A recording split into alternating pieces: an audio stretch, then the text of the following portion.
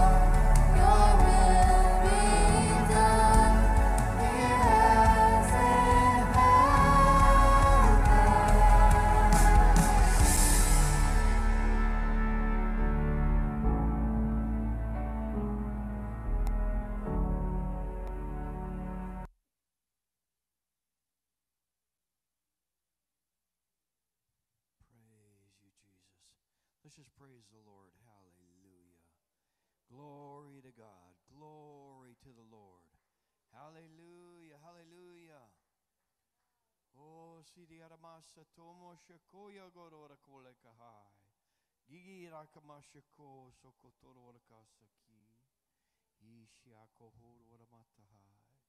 Adonai.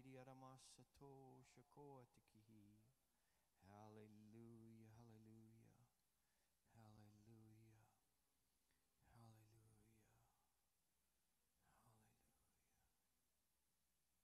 Lord, we just exalt your presence in our midst here this evening. Thank you, Lord, in Jesus' name. Amen. Why don't you greet somebody in the name of the Lord?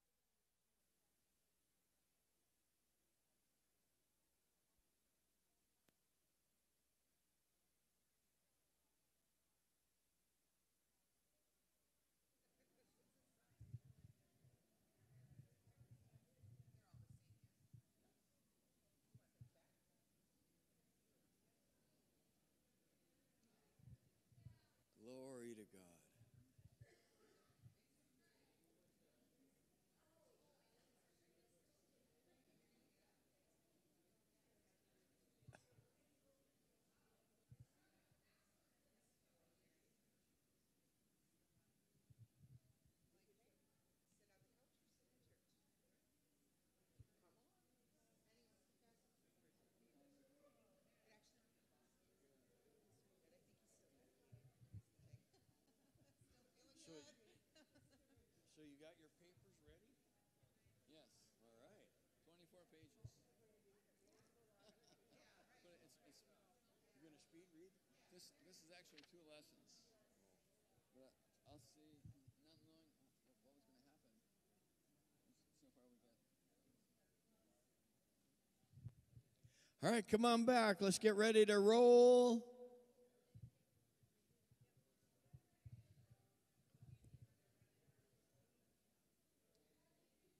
You didn't get one? Who's handing them out? You got go find Josh or Brad, I guess.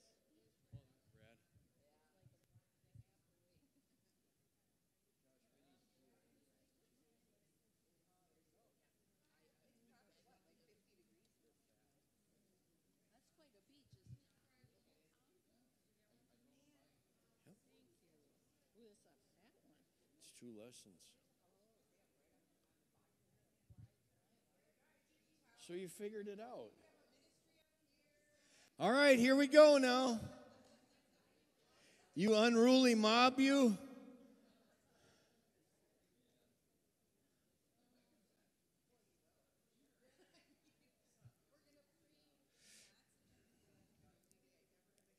Okay. So, we're ready to rumble.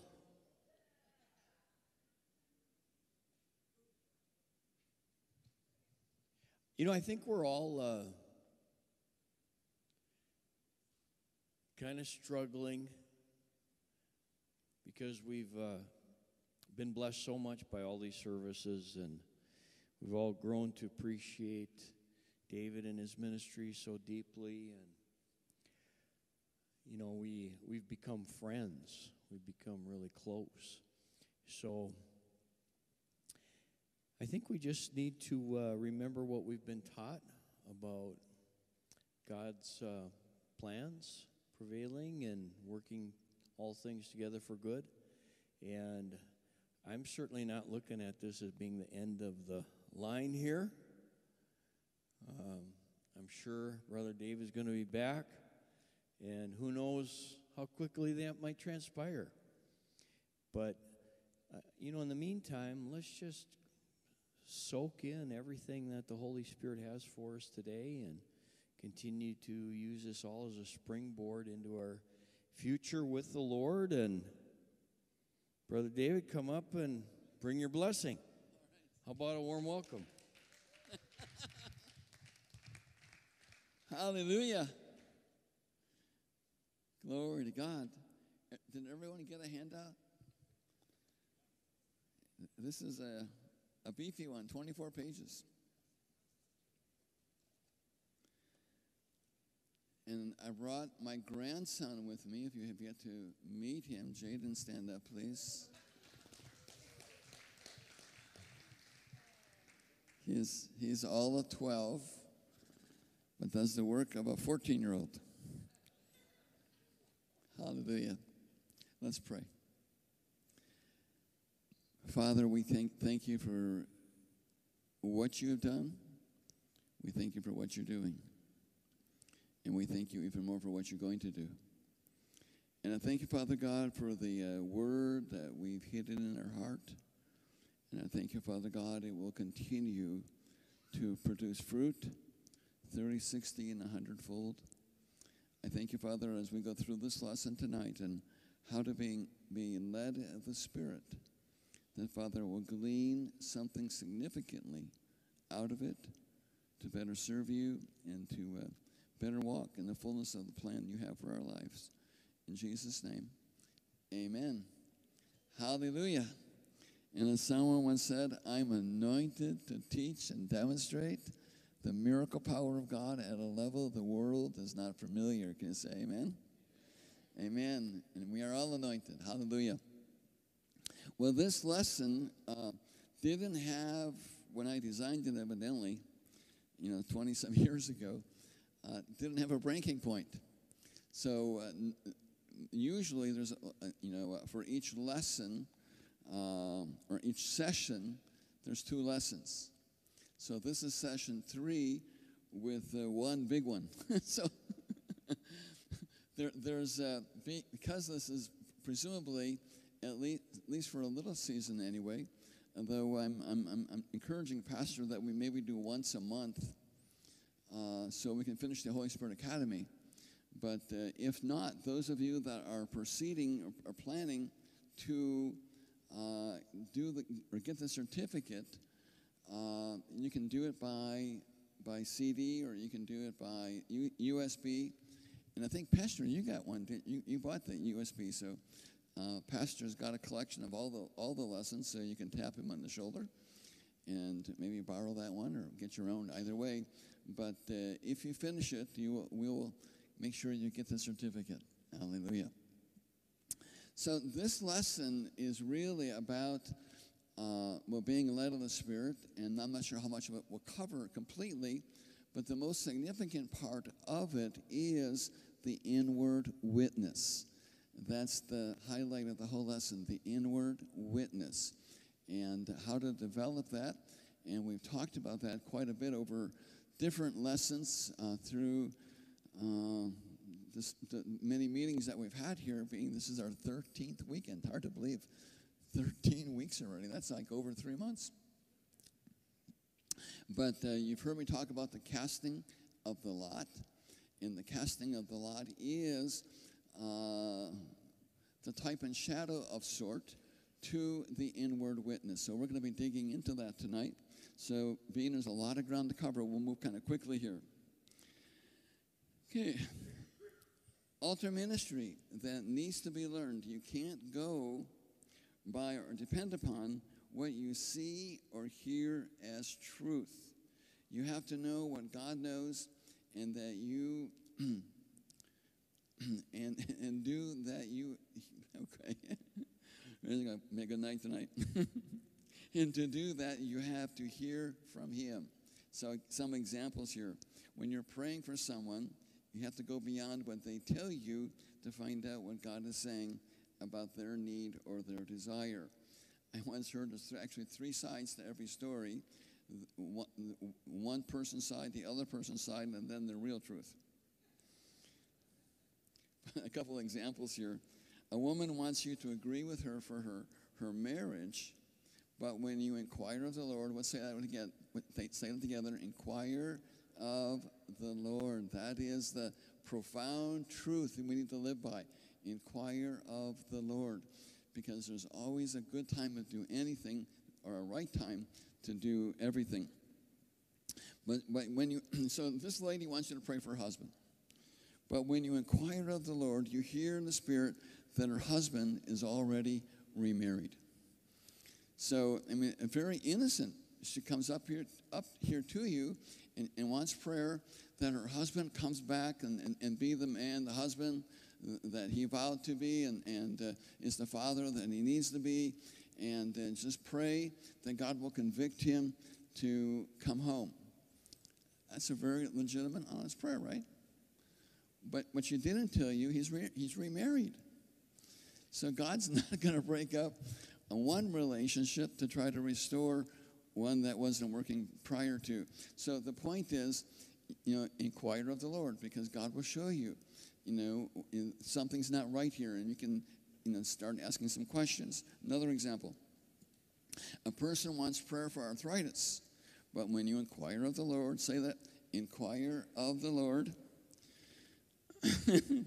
L333, that's good. You hear their real problem is bitterness. And I, I shared that illustration a number of times with you, praying for a lady up in North Dakota, and uh, she wanted prayer for arthritis. And God said, No, the problem here is bitterness. And oftentimes, bitterness is a, a, a source, uh, a, a significant source of a problem for arthritis. And uh, again, we can, we can pray for the arthritis, but if the source of the problem is really bitterness, we're just clipping dandelions. You know, you can go out in your yard and mow down all those dandelions, and the grass looks beautiful, but the roots are still there. And uh, the idea is by inquiring of the Lord, we're going to get past the surface level to uh, uh, what the real problem is. Another example a person who asks for prayer for healing and nothing is seemingly happening. When you say it with me, inquire of the Lord, you hear God say that she's afraid of losing her disability or the extra attention the infirmity has given to her. And I actually had this happen right up here uh, in central northern Wisconsin, where I was there for a week, and this lady, I prayed for her numerous times, and nothing happened. And uh, finally, uh, I, I didn't have all this wisdom, you know, 20, 30 years ago, but uh, when, I, when I finally inquired of the Lord after four or five days of, of being there, God said, The problem is she's afraid of losing her disability. And what, what was, because here she, she had this disability like 30 years. So, you know, no skills. So she has become very dependent on disability. So if she got healed, what's going to happen? She has no, no, no money and no career. So it, it's a subconscious thing, really. And uh, once we dealt with a subconscious fear, then, because I said to her, I said, no, don't you think if God could heal you, he could also provide for you? And it was like a revelation. Of, Wow, amazing thought. So, uh, but other times people just get addicted of sort to the attention. And they're afraid of losing all that personal attention that they're getting from being catered to. So, anyway, oftentimes there's things going on that you just need to inquire of the Lord to get more of the whole story. Okay, now here, I'm, I'm going to pass over this real quickly because we've talked about it more than once, and that is the deception of the, Gib, the, Gib, the Gibeonites. And uh, what happened is the Gibeonites came pretending to be from a faraway country, and uh, in reality, they were the next nation to be annihilated by Joshua and the team. And what happened is they deceived them to believe that they were somebody that they're not.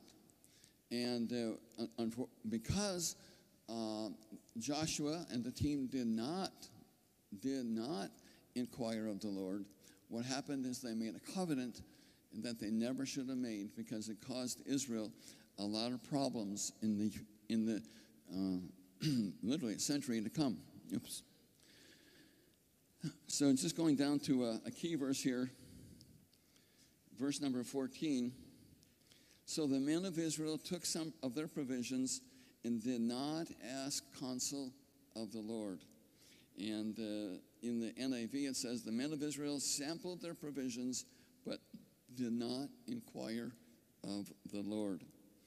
Revi- Revised Standard said they took they partook of their provisions, but again did not ask for, for direction from the Lord.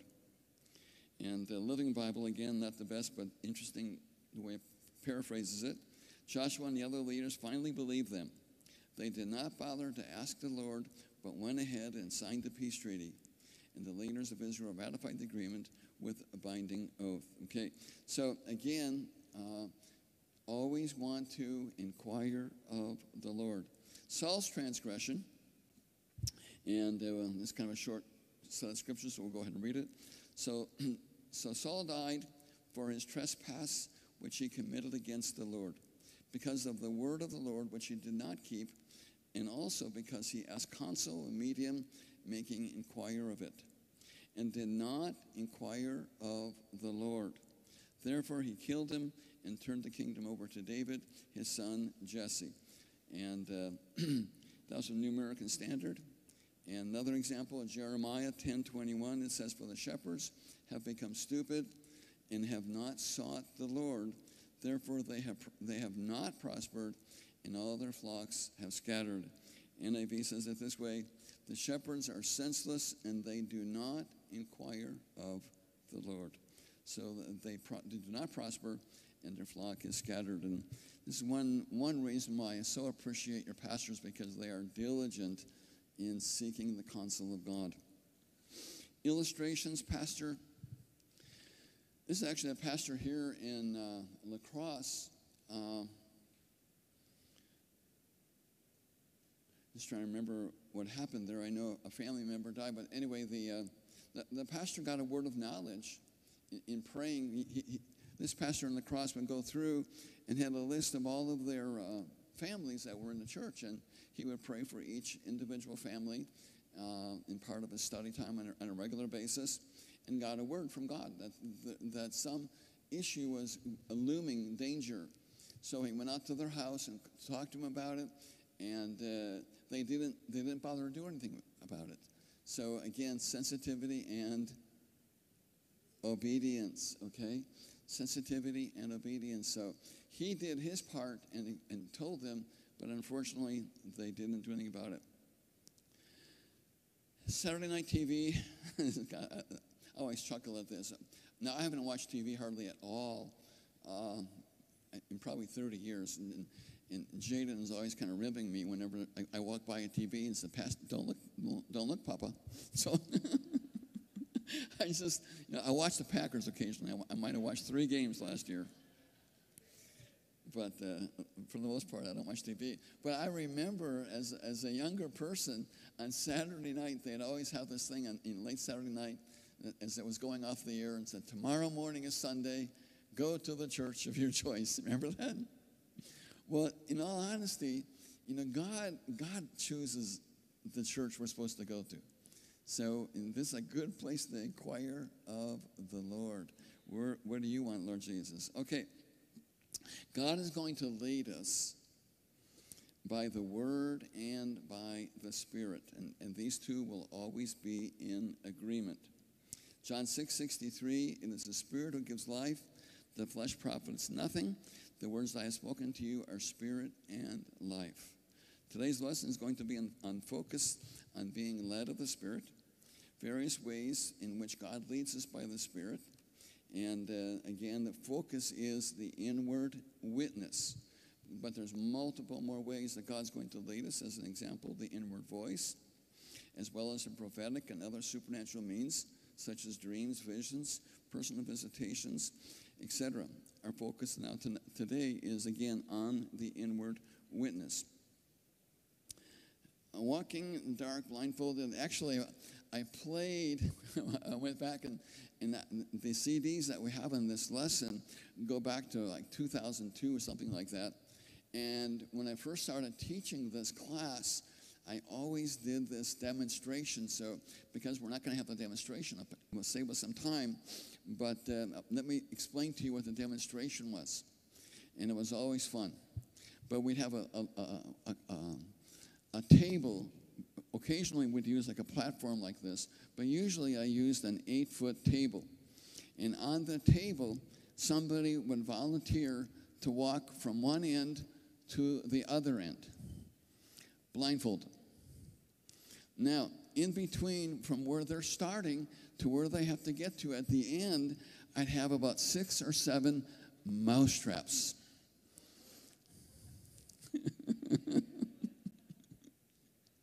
and I'd have little plates of water and uh, uh, some other little obstacles along the way. So, what they had to do is the person blindfolded had to be led by the person that was going to play the Holy Spirit. And they were, have, they were giving them directions to move this, move your left a little bit forward, pick it up. No, no, no, no, no, no. This, you, can, you can imagine this scenario. But it was always fun when they hit the mousetrap. Hitting the water wasn't so bad. They got used to the water. But in any event, uh, it was to illustrate listening to the Holy Spirit. In this case, it was a, you know somebody in the church. Usually, was a pastor that played that part. But we need to get that concept. We have to listen. The reality is, God is always speaking. Christ in you, correct? Christ, say it with me. Christ in me. Saying this, Christ in me. Christ in me. I know the scripture says Christ in you, the hope of glory. But you have Almighty God, Almighty God abiding in you. And He is always wanting to have fellowship with you and communicate with you and let you know what's, what's going to best serve your day. So, anyway, uh, to do well, you must listen carefully and obey what you hear. First and second key again sensitivity and obedience, foundation to life in the spirit. Personal belief on how, when a person dies, spiritually based on the word. Now, I'm going to I'm to skip over this because it's not really important. Really, I mean, it's important, but not significantly important. So, more later in the lesson, I think is more valuable. But essentially, let me just tell you what I believe. I believe, and I, have never talked, I'm not talking to Pastor about this, so hopefully this doesn't disagree with his his belief, but I think it'll be okay. But I believe when, when you're born as a baby, you are perfect. Amen? But at some point in age, and there's different thoughts on when that might be, but you, you, you reach a point of a, like accountability and you know right from wrong. And when you know that and you willfully do something wrong, is when you no longer are saved. But I believe babies, babies that get aborted, they go right to heaven. Amen. But at some point, uh, there's a, isn't it called the age of accountability? Age of accountability. Then you're accountable for your actions. So, but what happens is, from, from the Word of God, we are the light of the world. And now, your, your candle is lit when you're born, but at some point, the candle is going to go out because of sin. So when you get born again, God's going to light your candle or relight your candle and illumine your darkness. But that will fit into this lesson, uh, at least in part. So, anyway, that's my personal belief. Also, I, I believe that uh, what's perfect in a baby when it's born is its spirit. Now, if a, if a mother, as an example, is doing drugs, it's going to have an effect on the baby. Amen? If, if, if, the, if the baby is born in, in, a, in a scenario where there's arguing and the baby's not really wanted, that quite probably what's going to happen is a spirit of rejection that baby is going to be born with. So, anyway, there's scenarios that happen that cause babies to have challenges. And uh, I'm not going to get into that, but I just want you to know that uh, in looking at this lesson, that fits into it a bit later on, and I'll show you here in a minute. So, age of accountability, when a child willfully sins, is separated from the light and life of God. Spiritual death, just like Adam and Eve. And uh, again, Genesis 2.17, where it says there that don't partake of the tree of the knowledge of good and evil. When you do, you, you will surely die. Well, in, in Hebrew, it doesn't say surely die. It says die, die. And literally in Hebrew, it means in dying, you will die. So, anyway, when that happens, spiritual death. and the nature of man is always to cover up. When, when man sinned, what did he do? He covered up, right? He covered up the, the, the nakedness with a fig leaf. That's just the, the nature of man. He wants to cover up sin. Now, Proverbs 20, 27, it says, The spirit of man is the lamp of the Lord, searching all the innermost parts of the being. And King James says this way The spirit of the man is the candle of the Lord, searching all the inward parts of the belly. When you willfully sin at an age of accountability, your light goes out and you enter into a world of darkness. Ephesians 5 8, it says, You were formerly darkness, but now are you light of the Lord, walk as children of light. 1 Peter 2 9, but you are a chosen race, a royal priesthood, a holy nation, a people for God's own possession, that you may proclaim the excellencies of him who called us, called you out of darkness into his marvelous light. Praise God. When you recognize your sin and accept Jesus as your Savior, then you are translated out of darkness into light. In Proverbs 18, it says, For thou dost light my lamp. The Lord my God illuminates my darkness. And uh, I'm going to skip the other ones here. John 14 through 16. Uh, interesting three passages here that work together in um, being led by the Holy Spirit. Let's just go through it real quickly. John 14, 26, it says, But the Helper, the Holy Spirit, when the Father will send in my name, he will teach you all things and bring all things to remembrance, all that I have said to you. And uh, actually, well, that's a good point right there. Coming up to another point here I want to make for you, though. John 16 says, When he, the Spirit of truth, comes, he will guide you into all truth, for he will not speak of his own initiative, but whatever he hears, he will speak, and he will disclose to you what is to come. He shall glorify me, for he shall take of mine and shall disclose it to you. All things that the Father has, has are mine. Therefore I said, He takes of mine and he will disclose it to you. Amen. Showing us here about the leading of the Holy Spirit. Now, here's the part I thought I was going to come to, but it's here right now in these three verses. By implication, what we're going to see here is the two different ways that God's going to lead us, and that's by the Word and by the Spirit. Now, John 15, 26 says, When the Helper comes, whom I will send to you from the Father, that is the Spirit of truth, who proceeds from the Father, he will bear witness of me. Okay? Speaking of the Holy Spirit, Holy Spirit is going to lead us. Are you, following me? Holy Spirit is going to bear witness with you in, in, that you are the Spirit, bear witness of, of me, Jesus. Now here, number 27 says, and you, who is who was the you that he's speaking of here? The disciples. Okay? The disciples. And you will bear witness also because you have been with me from the beginning. So that makes it more clearly that he's talking about the disciples. How did the disciples bear witness? They, they gave us the Gospels. Amen? Matthew, Mark, John. I almost said Luke, but Luke wasn't one of the disciples. But they, they gave us the Word. So what you're going to what you see here in these in these two verses is the two ways God's lead, God leads you. Number one, by the Spirit, bearing witness with your spirit, bearing witness with your spirit that Jesus is Lord, and by the written word. But now here, what's significant is why. What is the benefit of being led by the Spirit, being led by the Word? It says here, these things, what things? I'm going to lead you by my Spirit. I'm going to lead you by my Word. These things I've spoken to you that you may be kept from stumbling. That word, st- um, let me go through my notes here, but I don't repeat it twice here.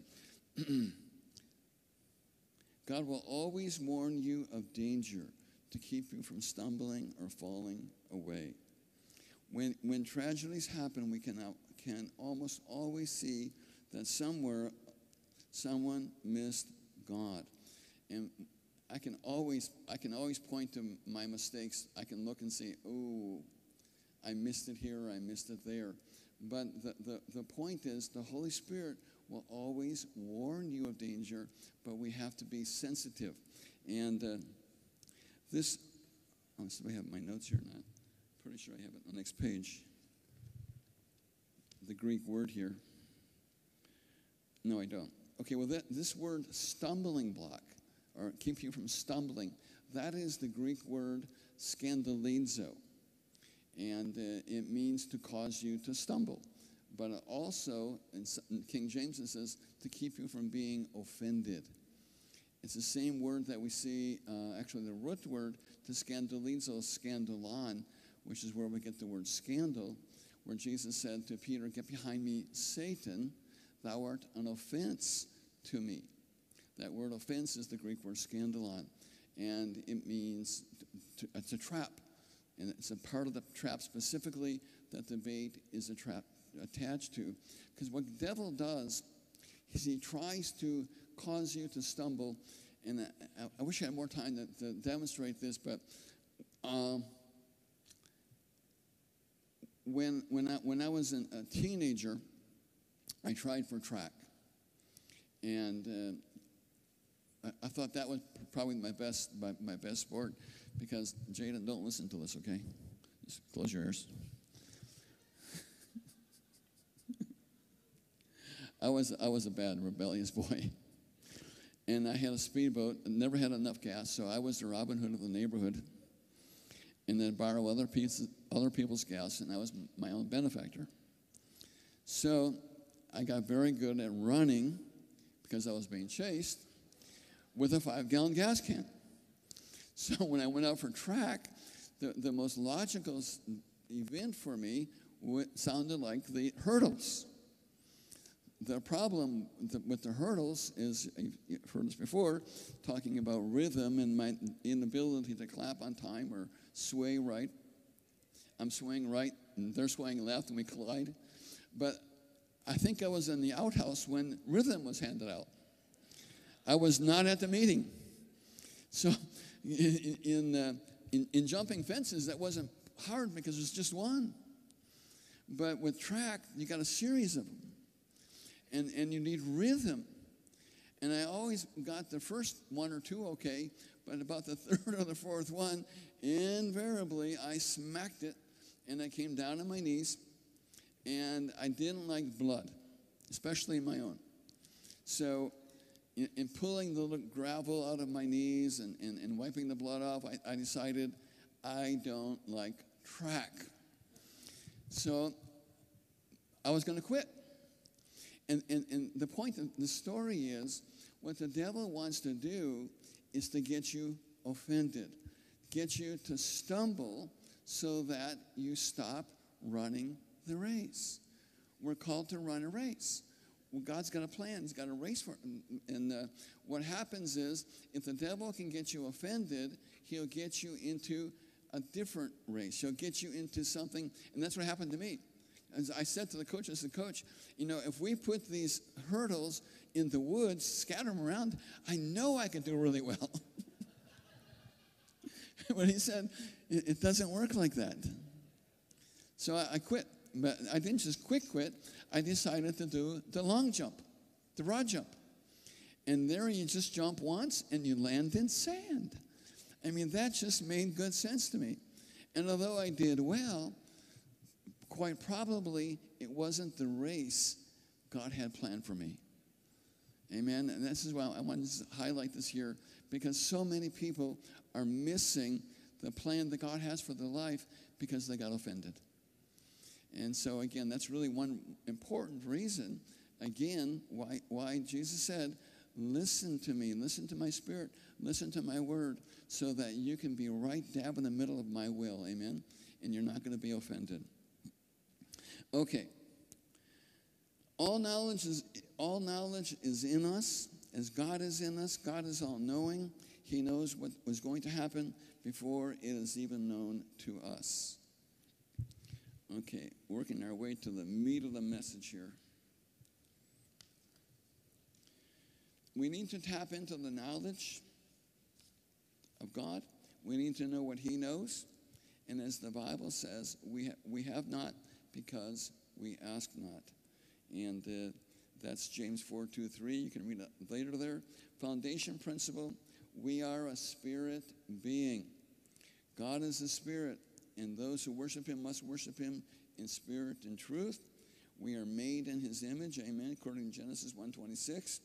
We are a spirit, we have a soul, and we live in a body. That's, that's our three part being spirit, soul, and body. And we can see that 1 Thessalonians 5.23. Soul is made up, we've talked about this before, of three parts. Your will, your emotions, and your thoughts. I think of it as WET, an acronym, WET, W-E-T, will, emotions, and thought. Your, your will is your ability to choose, your emotions, your ability to feel, and your thoughts, your ability to think. The, the, way, the way to ultimate victory and fullness of blessings is to prosper the soul. And that's what 3 John 2 says. And where it says, Beloved, I pray. That word pray, euchomai in the Greek, means to will, to pray, or to earnestly desire. God's will for us is to prosper and be in health, even as our soul prospers. So I'm highlighting this because as we're looking at the casting of the lot, as we're looking at this inward witness, we have to prosper our soul. We have to make a choice to uh, uh, say yes or say no. We have to prosper our soul, our will, our ability to choose. And uh, we'll get more into that here in a little bit. But Romans 8, 5, for those who are those who are according to the flesh set their minds on the things of the flesh, but those who are according to the Spirit, the things of the Spirit. For the mind set on the flesh is death, but the mind on the Spirit is life and peace. And you know what? Rather than go through all of that, uh, you, you know those verses. The, verse 16, the Spirit Himself, the Spirit Himself, verse 16, bears witness with our spirit, spirit to spirit communication. Spirit to spirit communication. Spirit Himself bears witness with our spirit that we are the children of God. I believe the devil, as we've looked at in 2 Corinthians 2.11, his devices is exercise our mind. The devil's going to speak to your mind. God's going to speak to your spirit. Now, sometimes it's hard to separate the, the head and, and, and, the heart, but the primarily tr- valuable truth is the, the Spirit speaking primarily to your spirit.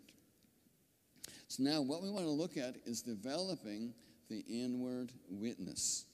Looking into, again, to do this, we're going to look at types and shadows. And we looked at this a little bit a couple of weeks ago as we looked at, uh, uh, was it the Red Sea crossing? I think it was the Red Sea crossing. We looked at Moses' tabernacle a little bit. No. A couple of times, I think we, we touched on. Well, anyway, Moses' tabernacle is a picture of the coming of Christ. It's a picture of the work of Christ and the work of the Holy Spirit. Now, each there's three tabernacles or temples. You got Moses' tabernacle, again, which is a, a type and shadow. That means everything represents something, kind of an illustration. Every color, every fabric, every size, every dimension has a, a type and shadow to the Lord Jesus Christ. Uh, we'll go through that some of the examples here in a little bit. Uh, but then after Moses' tabernacle, which is the coming of Christ, okay, in the Holy Spirit, then we have David's um, tent, David's tabernacle, where Moses' tabernacle was very ornate. David's temple was very simple, a tent. And uh, interestingly, the, the tent was erected for three and a half years. And uh, in, in Acts 15, I think it is, it says God, in, in, in the church age, is going to restore the tabernacle of David. Now, David wanted to build a tabernacle, David wanted to build a temple. But God said no because you're a man of war. So, because he was a man of war, he could not build the temple, but he said, Your son can. So, Solomon built the temple. God did say, David, you can, you can, you can uh, sow into it. And he did, lots and lots of money. Like we can sow into the tabernacle of Solomon, which is the millennial age. So David's, David's tabernacle re- represents the church age. Solomon's temple represents the millennial age. Solomon was uh, never had war. David had war all of all of his all of his kingship, always war. But and that's why he could. And God said, "You're a man of blood, so you can't build me a temple, but you got you know, but you can again uh, build a tent." And some people say, you know, there's not a lot in the Bible about praise and worship. Well, true, but the type and shadow of praise and worship is David. And David wrote a whole bunch of Psalms and a whole bunch of scriptures about praise and worship. So, David's tabernacle, again, Acts 15 says, After these things I'll return, and I will rebuild the tabernacle of David, which has fallen, and I will build its ruins, and I will restore it, in order that the rest of mankind may seek the Lord, and all the Gentiles who are called by my name, says the Lord, who makes these things known from of old. And again, Solomon's temple is a picture of the millennial reign of Christ. And Solomon never had war. He had peace and prosperity the whole time. Okay, now, of major interest, though, for us tonight is Moses' tabernacle. Moses' tabernacle, everything represents something. Exodus 25 8, it says, And let them con- construct a sanctuary for me, that I may dwell among them, according to all that I'm going to show you, as the pattern of, pattern of the tabernacle and pattern of its furniture, just so you shall construct it. Colors, dimensions, shapes, patterns, etc., all have symbolic representation. Examples of types and shadows of the tabernacle only one entrance, and that was the narrow gate. And we can see in Matthew 7 where it says there that enter by the narrow gate. For the gate is wide and wide is the broad and, and, and wide and broad is the broad that leads to destruction, and many are those who enter by it. For the gate is small and the way is narrow that leads to life. Few are those who find it. So in, the, in Moses' tabernacle, which again is rectangular in shape. and uh, at the east end is a very narrow gate. And that's the only entrance on the east end. Uh, Psalm 100, it says, Enter his gates with thanksgiving and his courts with praise. Give thanks to him, bless his name. Now, there are seven pieces of furniture in the tabernacle. And within the seven pieces of furniture, there's an outer court, there's an inner court, and then there's a Holy of Holies. In the outer court, you have two pieces of furniture. You have the brazen altar, and then you have the uh, brazen laver. Out in the outer court, it's, it's brass and wood. The, the brazen altar was brass covering wood. The brazen altar, uh, brazen laver, I'm sorry, was all brass, and it was filled with water, which created like a mirror type of a thing. But you, you remember through the Old Testament, thousands and thousands and thousands of sacrifices, those were usually offered on the brazen altar. That's where atonement was made for sin. And then, even though their sins were forgiven through the shedding of an innocent blood, innocent blood of animals, even though they were, they were, their sins were atoned for, they still had to be cleansed of, of any unrighteousness, so that that's where the brazen laver came in, that they would wash ceremonially, basically, even though there was some dust and crud on their feet and so forth but they would do that ceremonially to go into the inner court. Now, once you're in the inner court, on the left is the table of showbread, and the table of showbread is gold over wood, and this represents the body of Jesus Christ. Remember, unto us a child is born, Isaiah 9 6. Who was the child that was born? Jesus' humanity. Okay, so the wood represents humanity. unto us a son is given. Who is the son that was given? Christ. That's deity. So deity is represented by gold, humanity by wood. So that's the table of showbread. Then right in front of you would be the altar of uh, incense.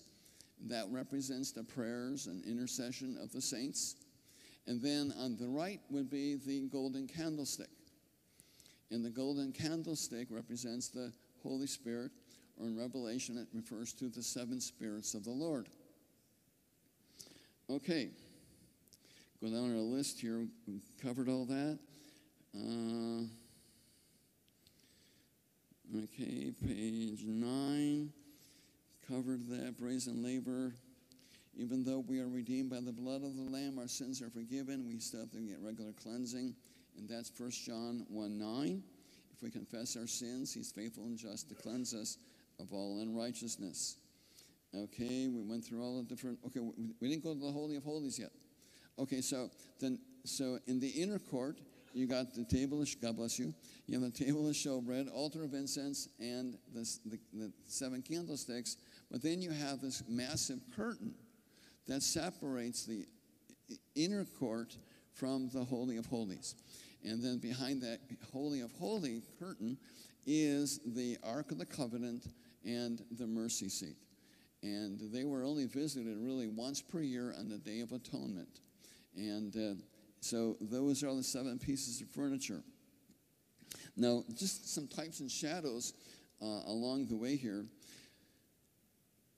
The setup of the, the tribes were quite interesting. If you go to the book of Numbers, it tells you there in the book of Numbers that these tribes are on the north, and it has the number.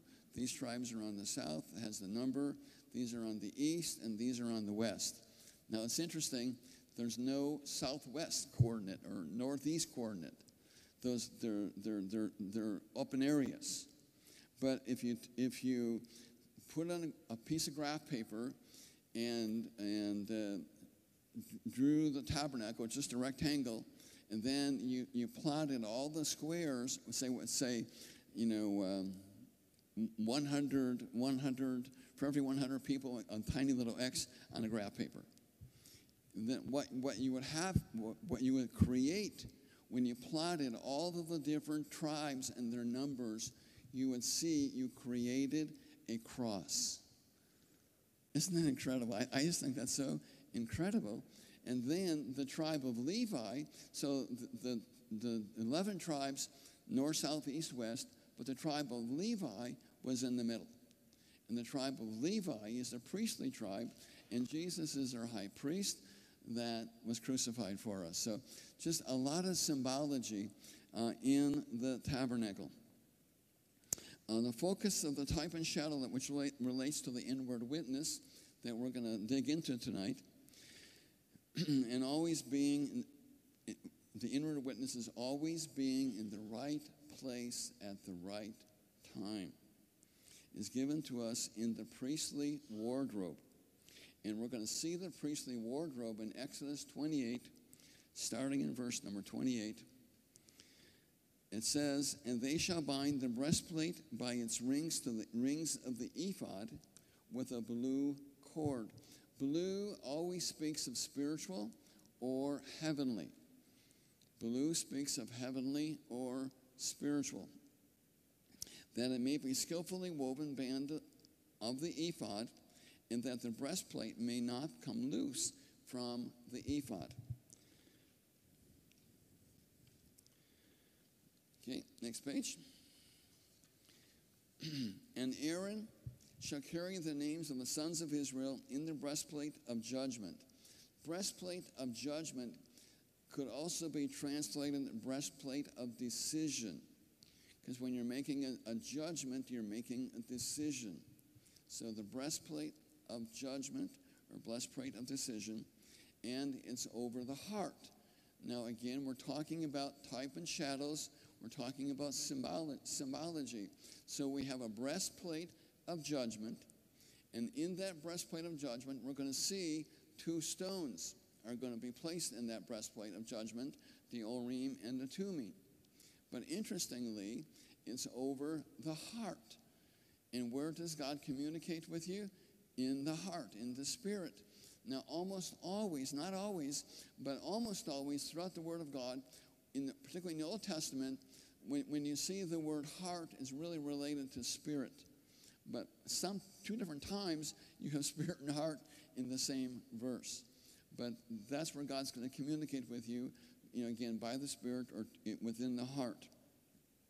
Okay, reading the verse again here. Aaron shall carry the names of the son of Israel in the breastplate of judgment over his heart when he enters the holy place for a memorial before the Lord continually. And ye shall put in the breastplate of judgment the Urim and the Tumim. Now, I know it looks like Urim and Thummim, and that's what most people pronounce it that way. But if you look down in your notes here further down, on page, ne- the next page, page 11, you can see the words Urim and Tumim and their phonetic pronunciations. So, you, as best as I can tell, eh, where it says 224 Urim, O O hyphen R E E M, looks like Urim to me. so, anyway, Urim and the Tumim. So, these are the two stones that are placed in the breastplate of judgment over the heart. And they're, they're bound with a blue lace, spiritual, indicating spiritual or heavenly.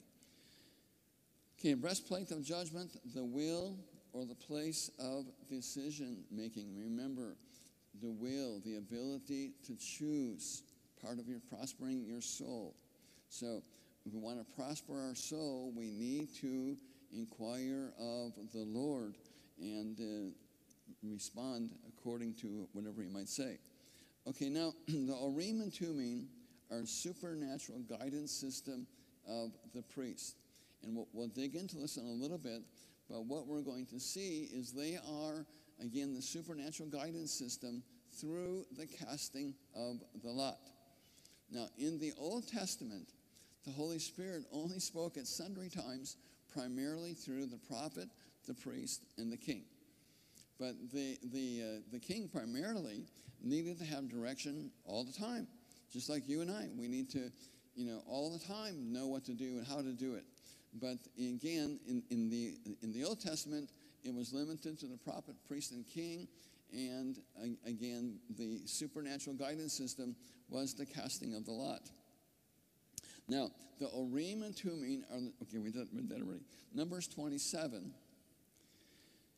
it says, verse 16, May the Lord, the God of all spirits of all flesh, appoint a man over the congregation who will go out and come in before them, who will lead them out and will bring them in, and the congregation of the Lord may not be like sheep with no shepherd. So follow along here. The, how to go out, how to come in. Okay? Number 18. So the Lord said to Moses, Take Joshua, the son of Nun, a man in whom is the Spirit, and lay your hand on him. This is the first occasion, I believe, where we see laying out of hands for impartation. Verse 19 And have him stand before Eleazar the priest and before all the congregation and commission him in their sight. And you shall put some of your authority, see, this is the impartation, you shall put some of your authority on him in order that the congregation of the sons of Israel may obey him. Moreover, he shall eh, stand before Eleazar the priest, who shall inquire of him by the judgment of the Urim before the Lord. At his command they shall go out, and at his command they shall come in, both he and all the sons of Israel, with him, even all the congregation. So again, wherever we see Urim, y- you can assume it means Urim and Tumim. It's basically the, the supernatural guidance system. But almost always it's shortened to just Urim. Very seldom do we see both of them together, but they work as a tandem set.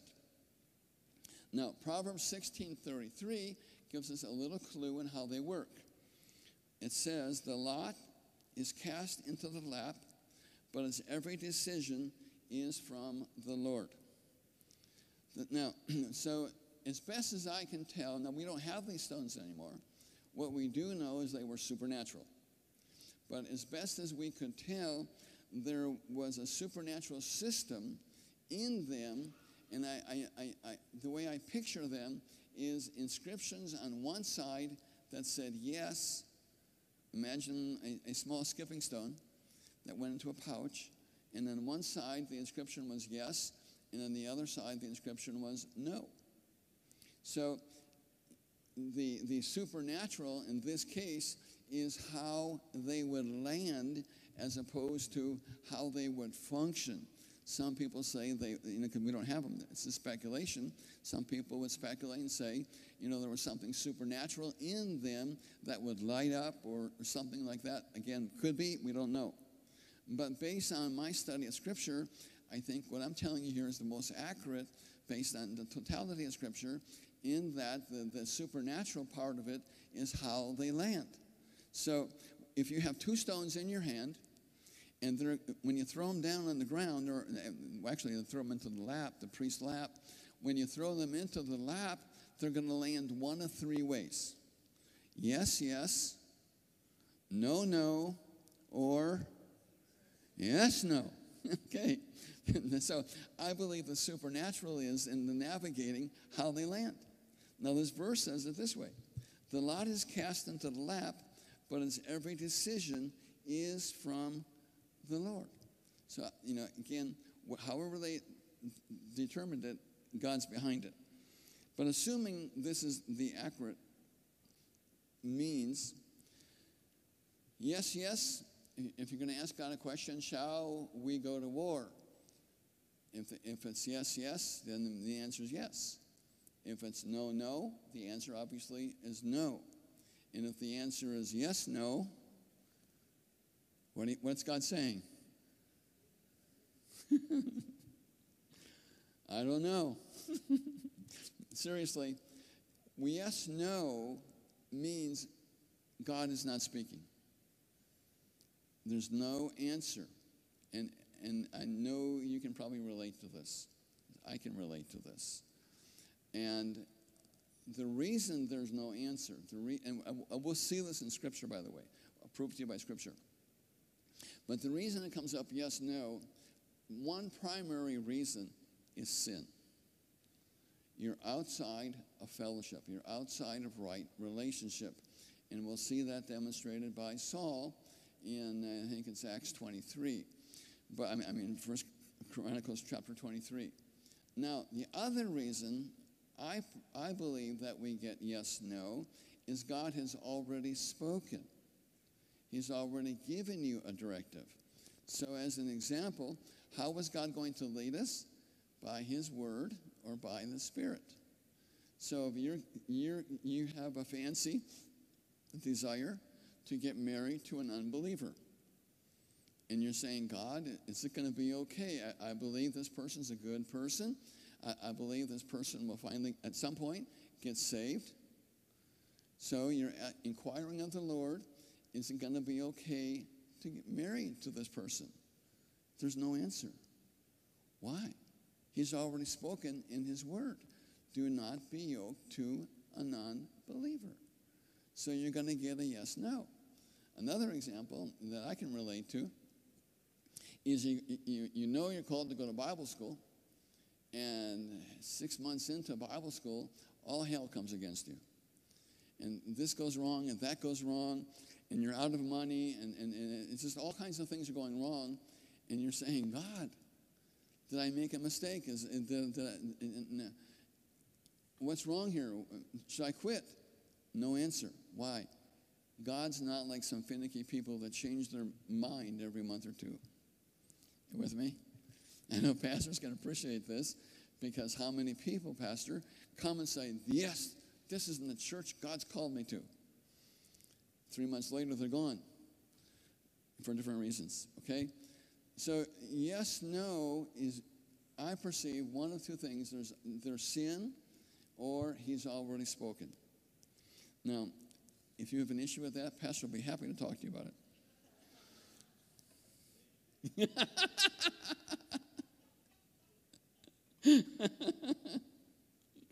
Uh, don't you love me, Pastor? You have to. New, New Testament examples, here we go. Matthew 5 37. Let your, and, this is one reason why I, I, I you know, again, I, I believe this is the right interpretation of these stones because we have these scriptures. Matthew 5 37 says, Let your statement be yes, yes, or no, no. And anything beyond this is evil.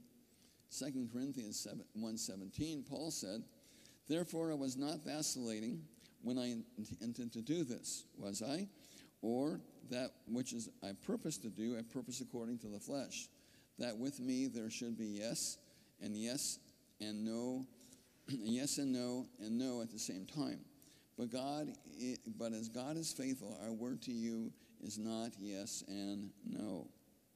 For the Son of God, Christ Jesus, who was preached among you by us, by me and Silvanus and Timothy, was not yes and no, but yes in him, or yes and amen. For as many as for as many as may be promises of God in him, they are yes. Wherefore also by him is our amen to the glory of God through us. Amen. Yes, yes or no, no represents the absoluteness of God. With him, everything is either black or white, and lukewarm is detestable to him, which would be the yes no. The words Urim, Urim, and Tumim. Again, 224 in Strong's is the Greek word, I mean, Hebrew word, Urim, and it means stones. Stones kept in a pouch on a high priest breastplate used in determining God's decision in certain questions and issues. This is from Strong's Concordance. Plural of 217, which means lights, plural because there's two two yeses and two nos. Plural, Urim, the, the oracle brilliancy of the figures in the high priest breastplate. Coming from, the, well, definition of the root word here, or, means uh, flame, a light of a fire. Hence, plural, the east as being the region of light. So basically, in King James, this, is, this word is translated as fire or light. Now, tumim means perfection. and the definition says stones provided by the means of our, our achieving a sacred lot. They were used with the Urim. This is how the will of God was revealed. It's plural again because there's two. And again, it means perfections. One of the epaulets of the objects in the high priest breastplate as an emblem of complete truth. Again, the root word, two, from 8522 means completeness, figuratively, prosperity, usually moral or morally innocence. Translated, uh, integrity, completeness, fullness, innocence, simplicity, and integrity. In, integrity, in King James, you find it translated full, integrity, perfect, simplicity, uprightness, and a venture. Now, these two stones, my perception is, these two stones represent the life and the light of God. And again, the life, perfection, completeness, innocence, prosperity, God's life, and His light. His light, His flame, His fire. And again, these two stones is what we receive when we are born again. Psalm 43 3, it says, O send out thy light and thy truth, Urim and Tumim. Send out thy light and thy truth. Let them do what? Lead me. God's going to lead you by the light and by the truth. Let them bring me to thy holy hill and to thy dwelling places. Applications of the Urim and the Tumim And uh, we're actually going to go backwards here. We're going to start at the end of uh, Samuel and move forward or backwards. But we talked about this here a few weeks back. 1 Samuel 28. Now Samuel was dead, and all of Israel lamented him and buried him in Ramah, his own city. And Saul had removed from the land those who were mediums and spiritists. So the Philistines gathered together and came and camped in Shunem. And Saul gathered all of Israel together and camped in Gilboa. When Saul saw the camp of the Philistines, he was afraid, and his heart greatly trembled.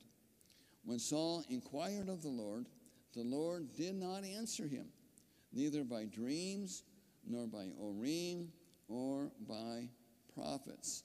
Now, so often we miss the, the supernatural by looking to the spectacular. And the inward witness is very supernatural, but it might not seem so spectacular. You know, dreams and visions or prophetic word, you know, might be more spectacular, but the everyday, everyday leading is going to be by the inward witness. So what, what, what the, the scripture is telling us here, God wasn't answering in any event. The, the everyday supernatural, the Urim, nor by the spectacular prophets and, and, and, and, and uh, dreams and visions.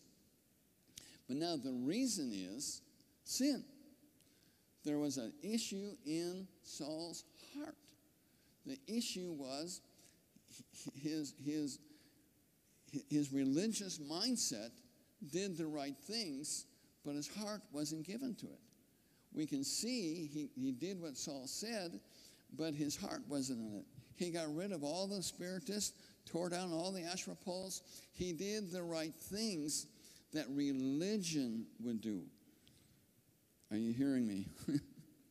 but God is not looking for religious actions, He's looking for hearts. And, and, and uh, sacrifice is better than obedience. We, we, we need to sacrifice whatever to honor God and, and doing the right thing. So, because God could see this, and He knew and He knows what you're going to do before you do it, He knew His heart wasn't right, His heart was not in it. And you can always tell when a person's heart is, is not right because when things aren't going right, they fear. When you have a right relationship with God, you're not going to so easily be afraid. You're going to have confidence in knowing His word is true. He'll never leave you. He'll never forsake you. His seed is never being begging, seed begging bread. But because his heart wasn't right when the Philistines were gathered around them, he uh, was afraid. And he, he approached God in fear, and God did not answer him. So, because God knew what was going to happen next, we see the next verse, which says, Then Saul said to his servants, Seek for me a woman who is a medium, that I may go to her and inquire of her. And his servants said to him, Behold, there is a woman who is a medium at Endor. So God knew before he did this that if God withheld an answer, he would go to the witch of Endor. His confidence and trust was not in God. That's why it came up yes, no. Uh, again, God was not answering by the everyday supernatural with the Urim and Tumim or by the spectacular supernatural of the prophetic or dreams. Saul did all the right things religiously, but his heart was not right. Sin was in his heart, and sin stops, hinders communication with God. 1 Samuel 15, 22, and, God sa- and Samuel said, Has the Lord as, dem- as much delight in burnt offerings and sacrifices as in obeying the voice of the Lord? Behold, to obey is better than sacrifice, and also, and to heed than the fat of our, our rams. Interestingly, Saul knew that sin stopped the flow, but chose not to deal with it as it was within himself. So often we point to others' sin, but are unwilling to deal with it on our own. Now we're going to look at another example here, and that's why I said that. But in another example, the sin, I mean, again, God was not answering. The, the lot was cast, Urim was cast, but it always came up yes, no. In this case, Saul dealt with it because he knew, and we're going to see the scripture says, Saul said, See where the sin is. But where was the sin? In his, in his son. So it's always easier to deal with someone else's sin than your own. Amen? Saul casting the lot. This is in 1 Samuel uh, 14 3. And it says, And, Ahijah, the son of Ahitub, Ichabod's brother, the son of Phinehas, the son of Eli, the priest of the Lord at Shiloh, was wearing an ephod, and the people did not know that Jonathan had gone. Now, the importance of just putting this verse in there in verse 3 is because where is the Urim and the Tumim? In the breastplate of judgment within the ephod. And the priest carried the ephod. So what we see is in, in 1 Samuel 14 3, the priest was there with the ephod, and by presumption, he has the Urim and Tumim, which are going to be used later in the story. So, what happens between verse 3 and verse 36 is Jonathan and his armor bearer go out and they're, they're surveying the, the enemy camp. And they come across a garrison of, of people. And, and Jonathan puts out a fleece and says, Lord, if you want us to play havoc here and take on this garrison, let me know. So he cast the fleece out under the, the fleece, and he and his armor bearer single handedly wiped out the entire garrison. Now, I forget how many, how many a garrison is, but it's a bunch of people. But they annihilated a whole bunch of them and then they started killing themselves. An incredible victory. Now, because of that victory, the entire Philistine camp came into disarray. And they started killing themselves all over the place. Saul, from his vantage point, was looking down on all of this carnage that was happening in the enemy camp, and he says, Whoa, what a great opportunity. Let's go down there and annihilate all of them now that they're all killing themselves, and it'll be an easy wipeout for us. I mean, for, get rid of them. But the wise priest, we're going to look at his wisdom, and, and the importance of this is don't go by what you see. In ministry, don't go by what you see. Don't go by what you hear. You need to do what?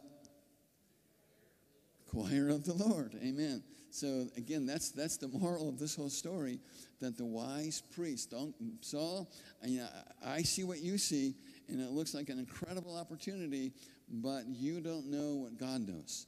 So we want to get his opinion. So jumping down to verse 36, we'll pick up the story from there. Then Saul said, Let us go down after the Philistines by night and take spoil among them until the morning light, and let us not leave a man of them. And they said, Do whatever seems good to you.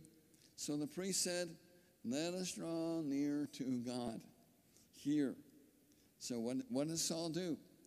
He inquires of God. He inquires of the Lord. And what does he say?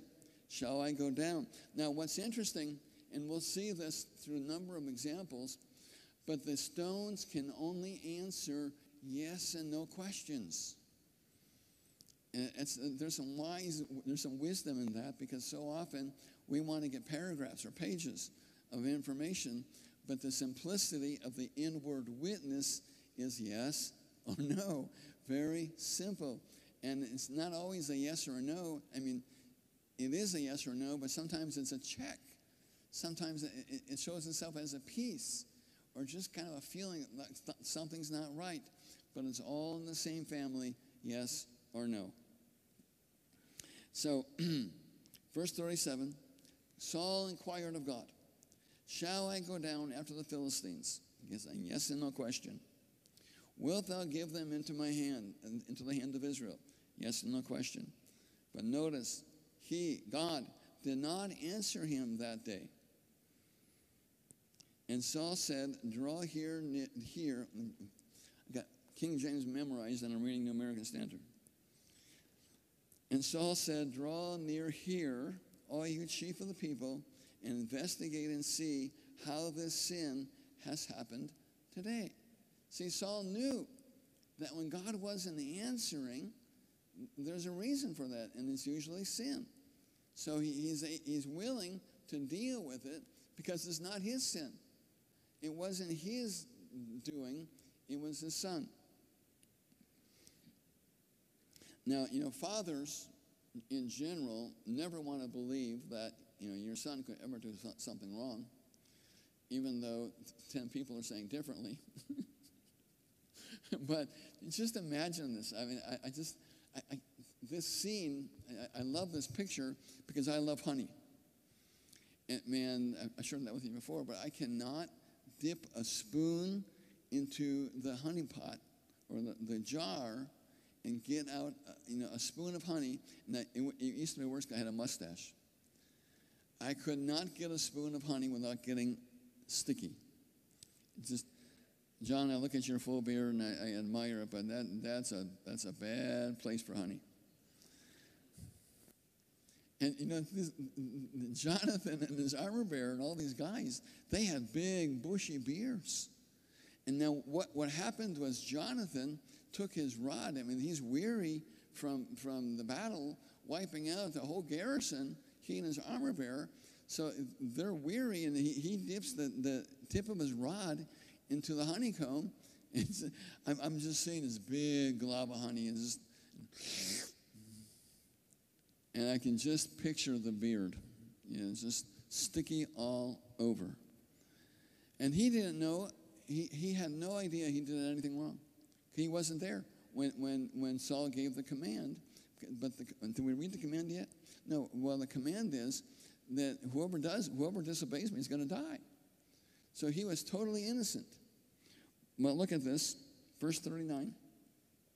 For as the Lord lives, whoever who, who delivers Israel, though it be in, in Jonathan my son, he shall surely die. But not one of the people answered him. Then said, then he said to all of Israel, You shall be on one side, and I and Jonathan, will, my son, will be on the other side. And the people said to Saul, Do what seems good to you. Now, here is the simplicity of the casting of the lot. It's what I call deductive reasoning. And essentially, you have to draw a line. And what happens is he's going to put Israel on one side of the line, and then he and his son on the other side. So a lot over here is the sin this day in Israel. So what's going to happen? It's going to come up no, no. Well, by deduction, that means the sin's over here. But when they did it on the other side, is the, is the sin in, in Jonathan or, or King Saul? Yes. So they draw another liner and use the same line over again, and they put Saul on one side and Jonathan on the other side. Again, narrowing it down, asking yes and no questions. And we're going to see here that Saul escapes, but Jonathan is taken by the casting of the lot. So let's read it. Verse 41. Therefore Saul said to the Lord, the God of Israel, give a perfect lot. And Jonathan and Saul were taken, but the people escaped. And Saul said, Cast lots between me and Jonathan, my son. And Jonathan was taken.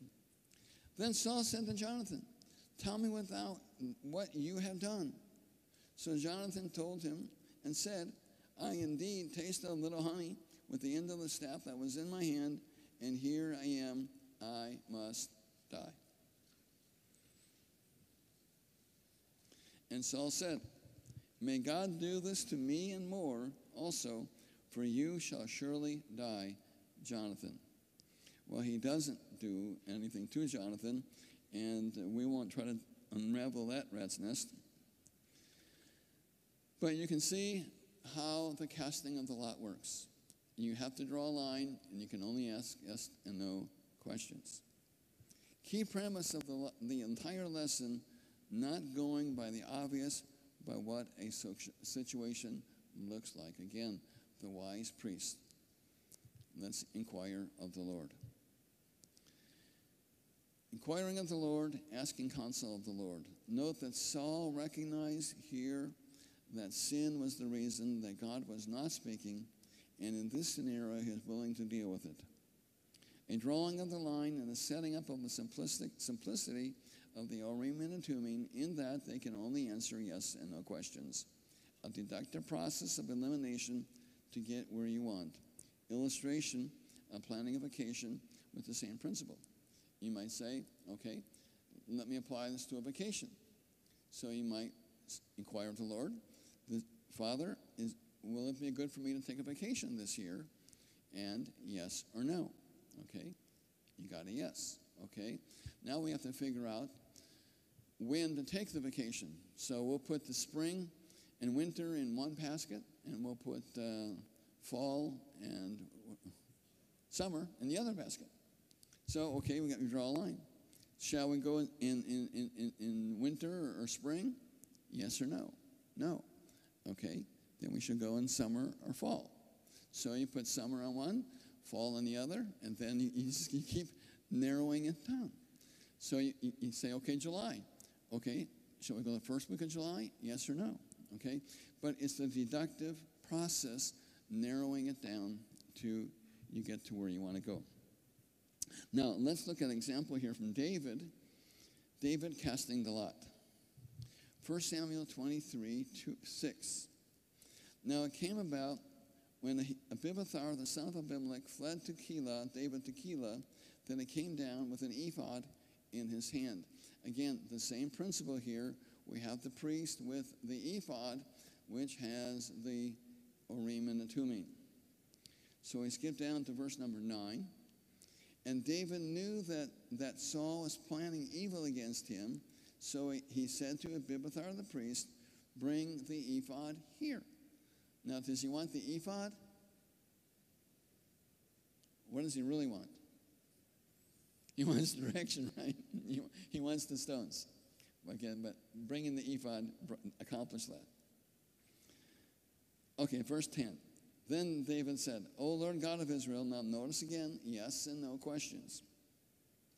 Then David said, O Lord God of Israel, thy servant hath heard that Saul is seeking to come to Keilah to destroy the city for my account.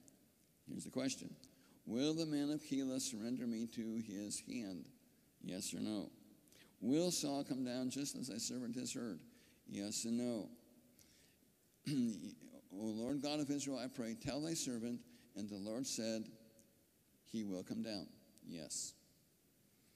Verse 12 Then David said, Will the men of Keilah surrender me into, and my men into the hand of Saul? And the Lord said, Yes. Translated, they will surrender you. Note again the simplicity of yes and no questions. Now, again, the Word and the Spirit always agree, and this is a perfect example right here. The children of Israel receiving their inheritance by the casting of the lot. A confirmation of what was prophesied in Genesis 49, hundreds of years earlier, by Jacob on his deathbed, as he spoke over his 12 sons, that where they would dwell in the promised land. Again, so here's Jacob on his deathbed, prophesying over the 12 sons. And, uh, and uh, if you read through there, what you'll see is a lot of the prophetic word were boundaries. Boundaries in the land of Canaan, Canaan, which would happen hundreds and hundreds of years later. Okay, so that's the prophetic word in Genesis 49. Now, come to Joshua 14, and it says, Now these are the territories which the son of Israel inherited in the land of Canaan, which Eleazar the priest and Joshua the son of Nun and the heads of the households of the tribes of the son of Israel apportioned to them for an inheritance. Notice, by lot by the lot of their inheritance, as the Lord commanded through Moses for the nine tribes and the half tribe, because the other tribes had already received their inheritance on the other side of the river. Now, from here through chapter 21, the lot was cast to determine the boundaries of the 12 tribes, and it confirms exactly the prophecies of Genesis 49. Again, hundreds of years later, they cast a lot to determine their boundaries, and it confirmed perfectly the prophecies of Genesis 49. Again, the Spirit and the Word will always agree. If you get something different than what the Word says, you're hearing from the wrong Spirit. So, as an example, in the illustration of shall I, can I go ahead and get married to this heathen? I know that uh, it'll, it'll turn out okay. Again, if you say God said yes, you heard the wrong spirit. God will never disagree with his word. The foundation of casting of the lot into the New Testament and receiving of our inheritance, which is the casting of the lot. Ephesians 1:11. It says, "Also we have obtained an inheritance, having been predestined according to the purpose his purpose, who works all things together after the counsel of his will." Okay? So God's predetermined will for all men is that none would perish, but to some go to hell? Yes. 1 Timothy 2 4, who desires all men to be saved and to come to the knowledge of truth. And uh, King James says it much the same way. And then uh, 2 Peter 3 9, the Lord is not slow about his promises, as, as some count slowness, but is patient towards you, not wishing for any to perish, but for all to come to repentance. Even though it is God's will, desire for no, no one to go to hell, every day it happens. Now, why am I emphasizing this? Because even though God has a predetermined will for all men to be saved, not all men get saved because they have a will of their own. Same thing with you and I. God's got a predetermined destiny for you, but your fulfilling it, walking in the fullness of it, is going to be your ability to be sensitive and obedient to His leading. In other words, we have some responsibility, even though we're predestined to be great men and women of God. Now, continuing on the bottom of page 15, God also wills that we prosper and be in health. But the key to that prosperity and health is the prosper- prosperity of our soul. To effectively prosper our soul, we have to make a determination to renew our mind and choose to inquire of the Lord and then to obey whatever He says. First two keys of the supernatural again sensitivity and obedience. In Isaiah 119, if you consent and obey, you will eat the best of the land. Like anything, the more you use it, the stronger it gets. Illustration of practicing on turning left or right.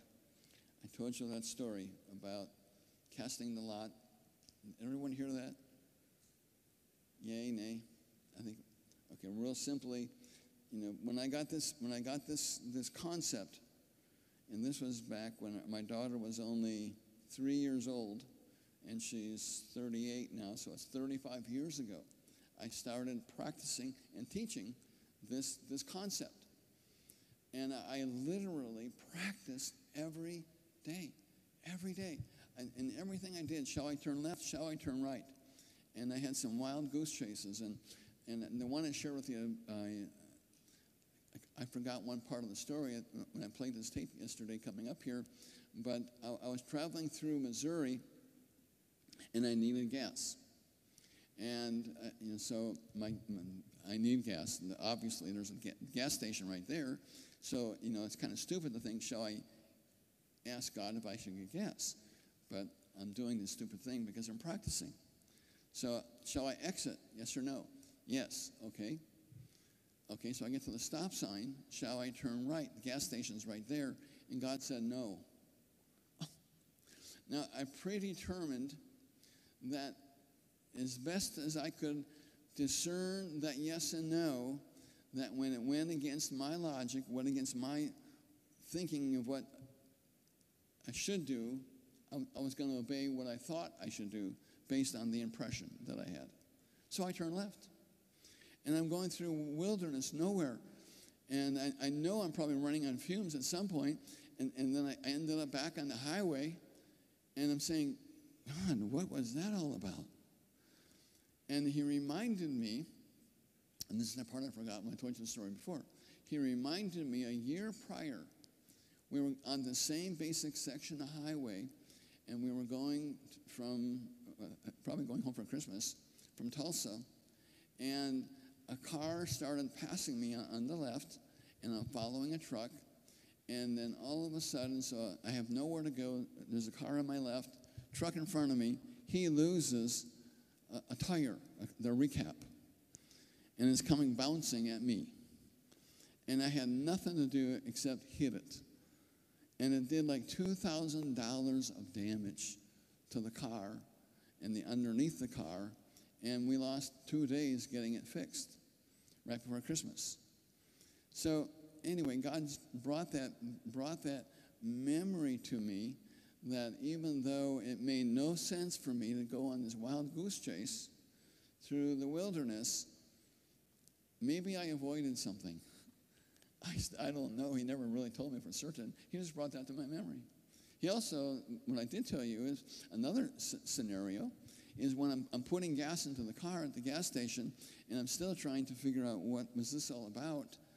And he, and he reminded me of a, just the week before, I was putting gas in my car in, in Broken Arrow, Oklahoma, and uh, all of a sudden I see a car that wasn't parked properly and a QuikTrip kind of a thing.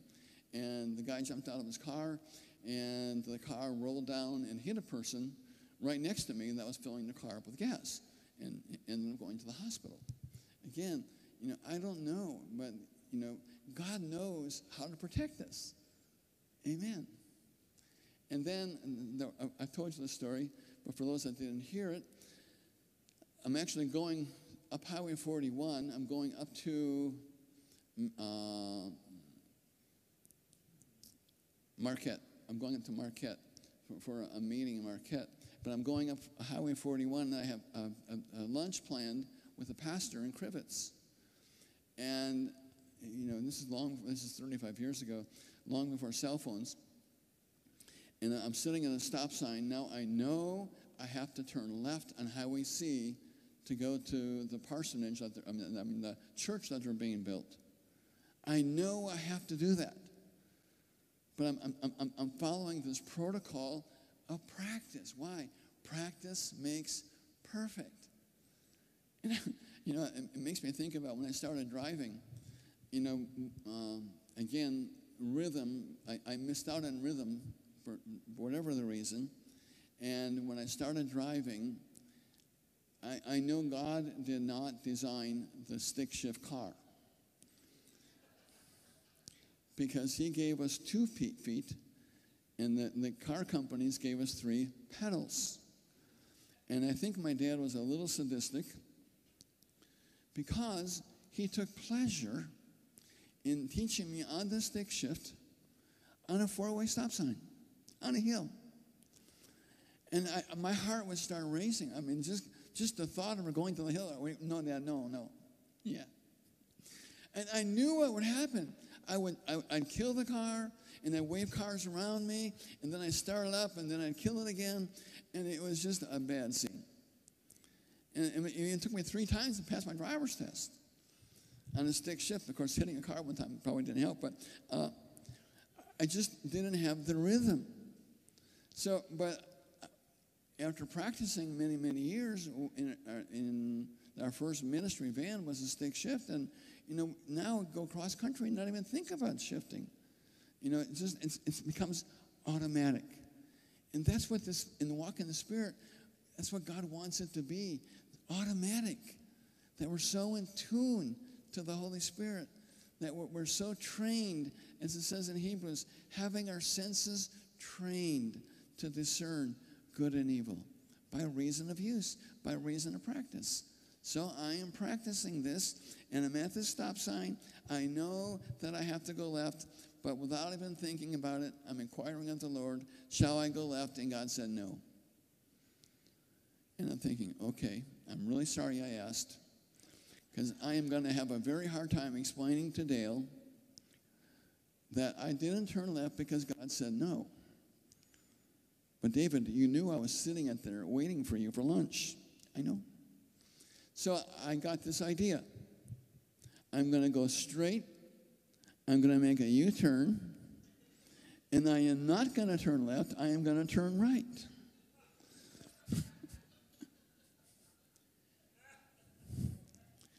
that, that's exactly what King Saul did. That's religion. That's manipulating. So I, I you know, I, okay, God, I'll, I'll, try to explain it to Dale. So I'm going straight, and I'm running all this scenario through my mind. Now, two miles down Highway 41 is their old church, and it's a very liturgical church. And and when they built the church, the new church, they, they sold that church building to the city. And the city now has had the property for maybe four or five months. And he had his billboard sign out front. And they had, they had a, city meeting, and, and they said, take the sign down. He didn't. They had another city meeting, take the sign down. He didn't. Well, now they had the, this city meeting, and they decided to fine him $100 a day for each day that this sign is not taken down. So it got his attention. So he went to the new church, put a sign on the, on the, on the church explaining that to me, and said, David, just come to the old church. I'll meet you there for lunch. So I'm driving down the highway, two miles down the road, and there's Pastor Dale on the side of the road taking the sign down. God knew. That was God that, that, that, that, that inward voice don't turn left. God knew that. And God will lead you this way. He, he, supernaturally. I mean, you, you, you will find divine providence. And even when you screw up, you're going to find He's going to bless you because you're trying. Amen. And I, I told you the rest of the story the next day.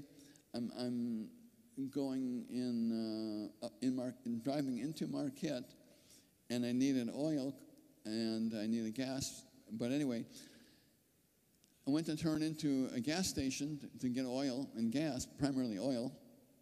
And God said, No, don't turn here. Oh, God, I need gas. I need oil. My oil light was on, so I knew I needed oil.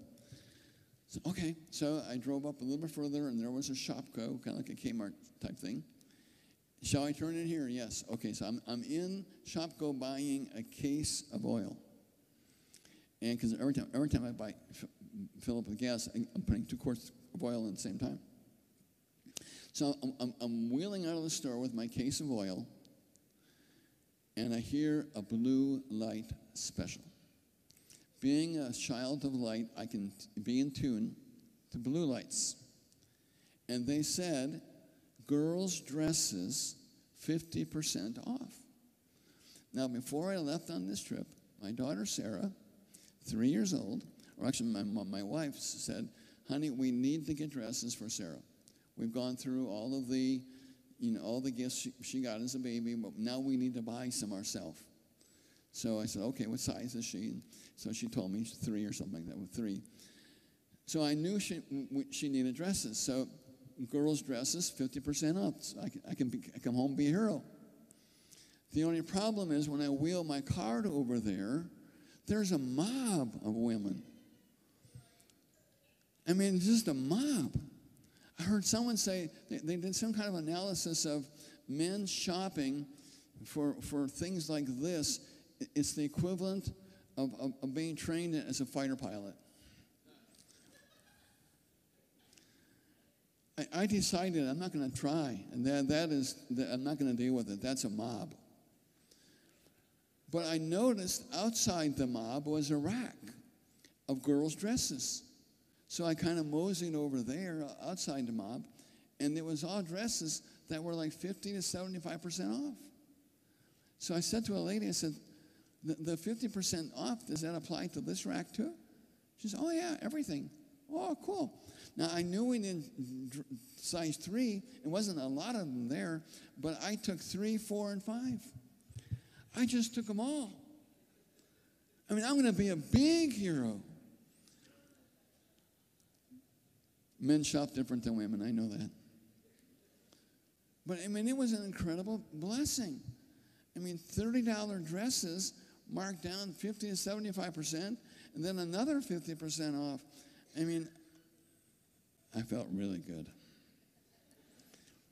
But I would have missed it had I, had I not been inquiring of the Lord. Something so simple. Hallelujah. Okay, let's keep moving. Where did we leave off?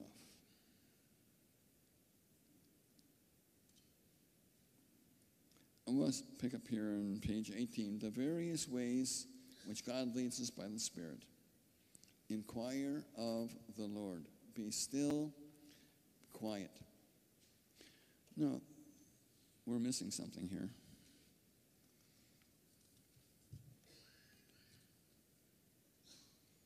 Yeah, th- that's not where we are. We're, we're on page 16. This is the best part. Can't miss the best part. Again, our inheritance is the ability to inquire of the Lord and always be in the right place at the right time. Obtain an inheritance. um, Greek word, klero, 2820, it, it means to allot, figuratively, to assign a privilege.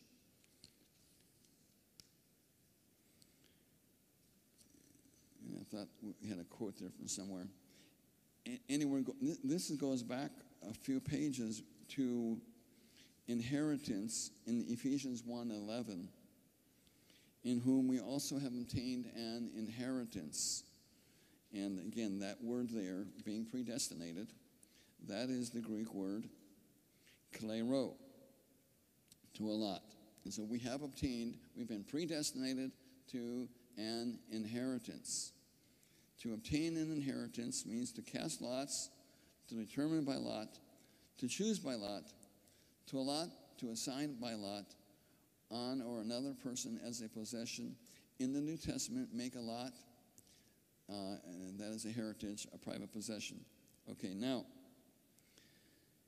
we have been predestinated to obtain an inheritance, just like the children of Israel. Genesis 49, where, where Jacob prophesied that the boundaries and, and their inheritance. We have been predestinated for an inheritance. Now, in Acts 26, and if, if this were a red letter edition Bible, you would see it would be printed in red because these are the words of Jesus in Acts 26.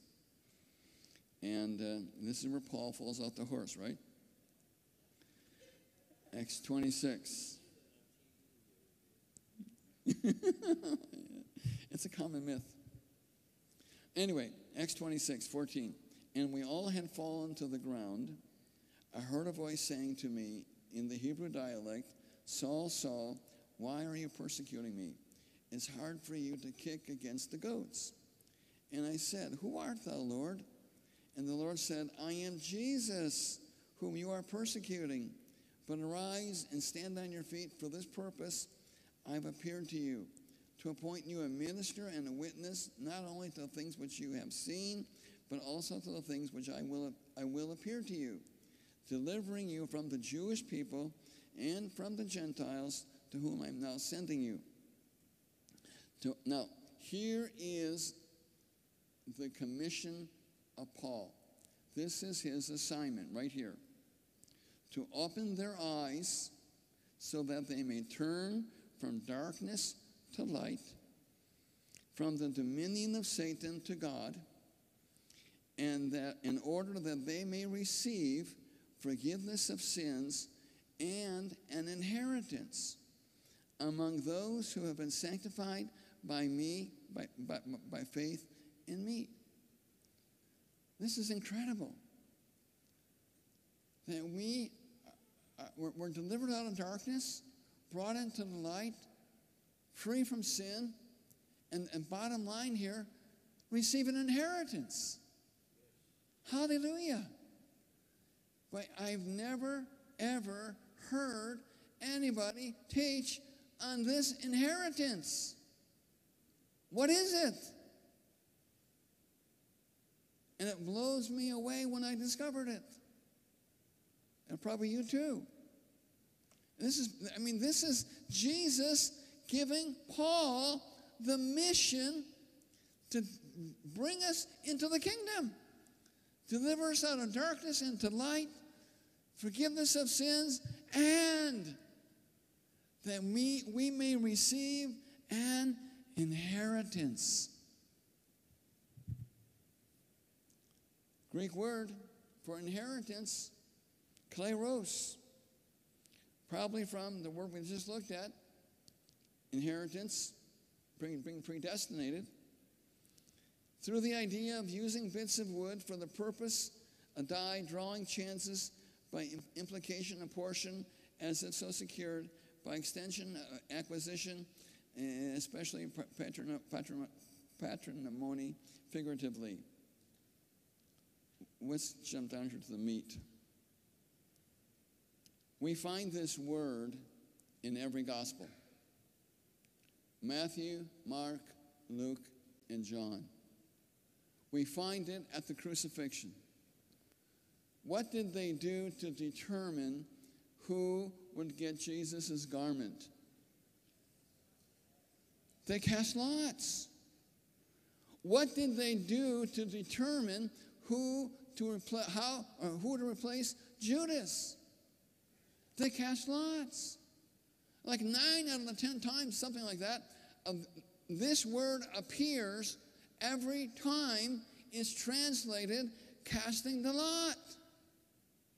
Literally, literally, I'm saying literally, our inheritance being brought out of darkness into light, the forgiveness of sins, and the ability to cast the lot. That's it. That's the inward witness. That's the ability to walk in the supernatural by inquiring of the Lord. Well, you don't seem nearly as excited as I am. it's awesome. Our good. Our inheritance, the ability to inquire of the Lord, the ability to cast the lot, the ability to walk in the supernatural by inquiring of Him. Our inheritance equals the inward witness. Some call it intuition, others a hunch, good or bad feeling, a red or a green light, or a check within you. Whatever, we need to develop this inward witness through practice. Like anything, the more we use it, the stronger it gets. Illustration of practicing turning a lap. Yeah, that's we did that already. learning to drive a stick shift. Various ways that God leads us.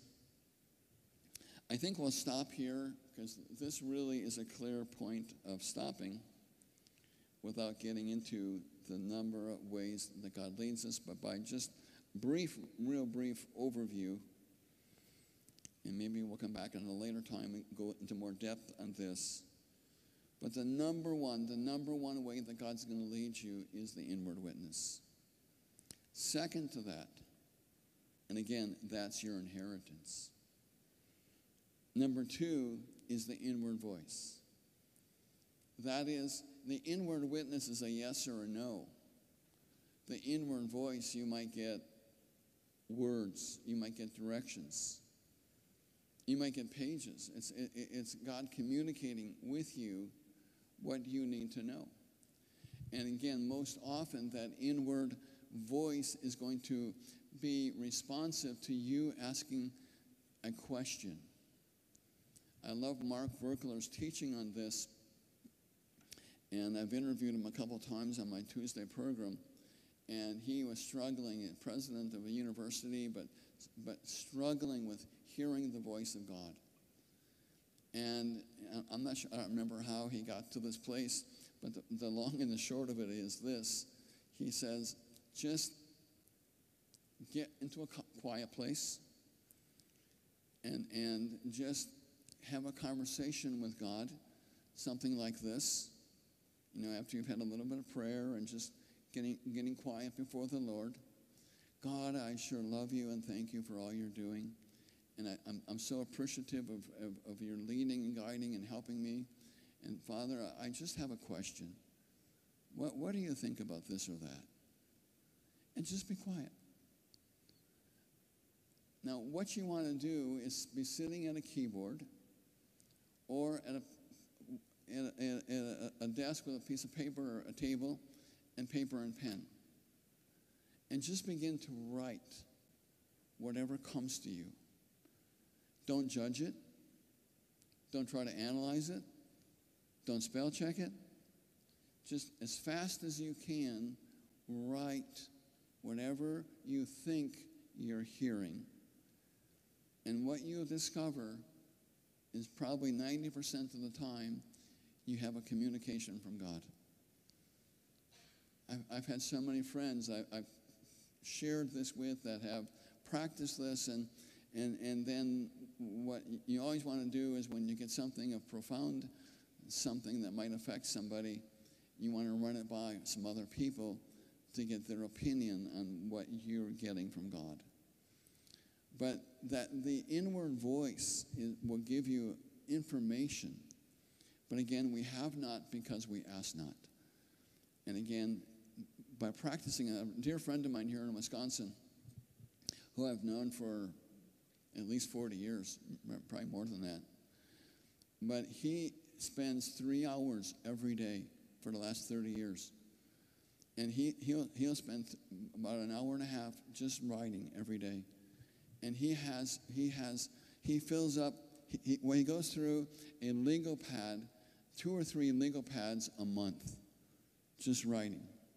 But what's interesting is writings that he has from four and five years ago are, are, are describing the days we're in today exactly. They, they were prophetic things. him asking about, you know, what's happening in the world economy or what, what, what's happening in, in, in, in any part of life. He just wrote, just writes. But you can do it. And it's a good way to, to practice to hearing the voice of God. That's the inward voice. Now, the voice of the Holy Spirit is a little bit stronger, and, and that's where, as an, one example, I'll share with you real quickly.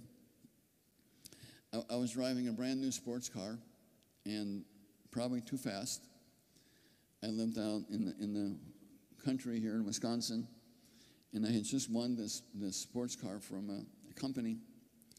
And anyway, I'm, I'm, so I'm cruising down the highway real fast, and I hear it's Marsh Road. And we, we, we, lived in a wilderness area, so there was a lot of uh, wildlife out there.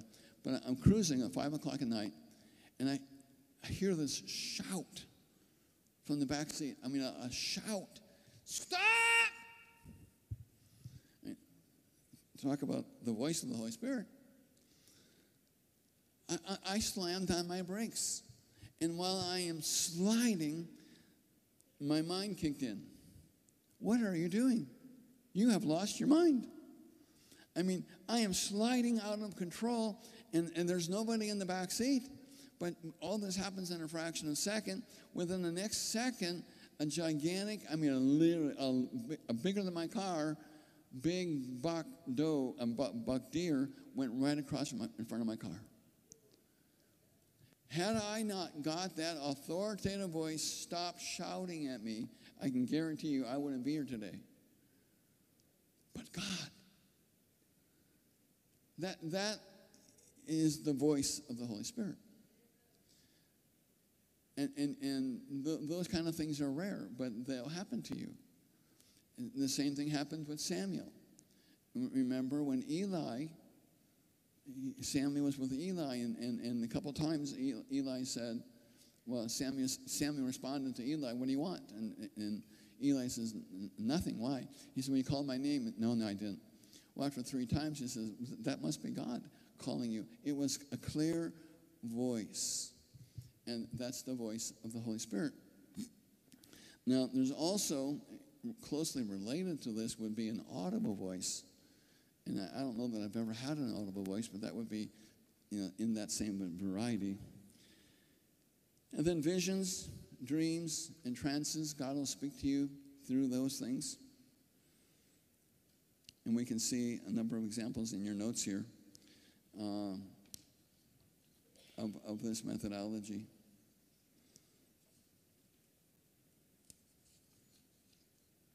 And then prophecy. God will speak you know, prophetically to you. Personal visitation, another means. And in, in the dreams category, I'll share a quick story with you, and then we'll wrap it up for tonight. But before my wife and I, uh, well, before we got saved, we lived together. And then once we got saved, then we're living rightly. But her parents never believed us. They didn't believe that we were really new creations. So anyway, we're, we're a couple of, couple of years down the road, and her, she lives in Kenosha. I'm, i live outside Milwaukee, and her, her brother is a race car driver down in Kenosha. So anyway, on this particular Saturday night, I go down and pick her up. We go to the races, and then I drop her off at her house because, uh, actually, she drove up to my house and left her car at my house. That's what it was. She left her car at my house. We went down to the races in Kenosha, and then I dropped because she lived down in Kenosha. I dropped her off at her house. She was living with her brother. Now, the next morning, I'm going down to pick her up for church. And I'm going down the highway, and a U.S. highway, a major highway, but there's a brand new stop sign. Uh, wow. They put a stop sign up on Sunday morning. I'm thinking, no, they wouldn't have done that. But I must have gone right through the stop sign twice, coming and going yesterday. Anyway, I, am sitting at the stop sign, just pondering this, and then, you know, I went. And then another four miles down the road, I come to another stop sign that's supposed to be there. And while I'm sitting by that stop sign, her father comes through the intersection and he sees me. So he stops and he says to me, Where's, where's Bip, my wife, or, well, girlfriend at that point? Where, where, where's, where, where's my daughter? And they said, Oh, she's at home. And he said, Oh, no. I, I just drove by there and her car wasn't there, so I assumed she spent the night with you. I says, Dad, shame on you. we don't do that stuff anymore. he says, Oh, okay. Well, anyway, I pick up my pick up Bip, and I'm coming back, and I'm telling her, you need to be aware there's a brand new stop sign up here on, on this highway. But when we get there, there's no stop sign. There's no stop sign. God led me by a vision so that our paths my path would cross perfectly with his path so he would know the truth about our relationship. God is so good. Father God, thank you for this night. Thank you, Father God, for the many different ways you lead us. And Father, if we come together on the subject again, we get into much, much more depth. But Father, I thank you. The most important part of this night is the reality of our inheritance, the inward witness. And I pray, Father God, that we would begin to pay more attention, that we would be purposeful in inquiring of the Lord. And Father, just being keen to listen to that still small voice. So that, Lord, we would just walk in the supernatural. We would be in the right place at the right time. And I thank you, Father God, even when we messed up, screwed up, went the wrong way, that, Father, you will bless our hearts for doing what we could to walk rightly with you. Father, I thank you that you'll seal this message by your word and by your spirit. And Father, will fulfill the purpose you have for each of us in our lives and ministries. In Jesus' name. Everyone said, Amen. Hallelujah. Praise the Lord. Wasn't that awesome? That was just terrific. I, I just want to remind you to uh, inquire of the Lord on giving and blessing Brother David. The uh, envelopes are in the back of the seats. You can put it on the special blank and in the box on the table, and we'll make sure he gets that at the conclusion of the weekend. But uh, I don't know how many of you knew this. I know some of you wished us a happy anniversary. Yesterday was our 43rd anniversary. And so we bugged out a little early from work yesterday and we went and hung out on our special bench at Point Beach. And then we went out to eat. And then we went to see our grandson. What's his name again? well, who has a grandson named Roman? That's going to take me a little while. But anyway, just cute as a button. He's one month old today. And when I'm with him, I can't stop kissing his head. I think I'm going to wear all the hair off his head. But I'm practicing what Brother David has been teaching us. So we had eaten, and here we were at uh, Sam and Jordan's, our, our son's home, and uh, holding Roman. And I thought, you know, Cedar Crest would go good right now. You got to have your papa take you to Cedar Crest tomorrow, okay? You like ice cream, right, Jaden? All right. You're to be a you're to get some good stuff. So anyway, I thought I should do what Brother David said, and I, I inquired the, of the Lord. I said, Shall I go to Cedar Crest? And I, I heard so distinctly, Yes, yes. and I realized it was Diane. Which is almost equivalent to the voice of the Lord, right? so I'm on my way to Cedar Crest, and there's that Mobil station. I can't remember the street I was going down, but getting ready to turn on Dewey to go over to Cedar Crest. And I noticed the gas sign, and I thought, well, gas went down a little bit. I mean, we were just traveling down south to Arkansas, and I couldn't believe what we were paying for gas. But it was 374. I thought that came down some.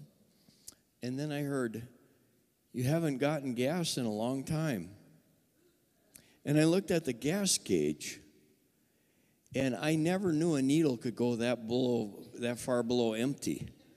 I mean, it was like it was, empty was here, and the needle was down that far. And then in panic, I glanced. You know, our vehicle has a range thing where it says how many miles left you have, and it said zero.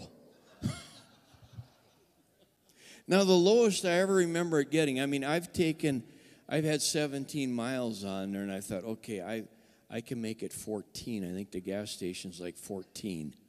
And I've made it with three left, but never zero. So I pulled a U right in front of the, the, uh, the stoplight and zipped in there and got gas. And I thought, thank you, Lord, for. Uh, prompted me. So you know, it's not always in the big things. I mean, you can hear yes, yes about ice cream. Now, you might have to discern that voice. Or God will prompt you about gas, little things too, right? Hallelujah.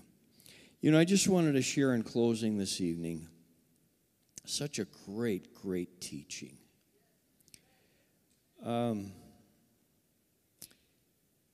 in, in the pastoral ministry, we're dealing with people a lot. And I think that, especially being as we're in a Pentecostal church, and we're endeavoring to learn how to walk in the Holy Spirit and, and heed the promptings of the Holy Spirit.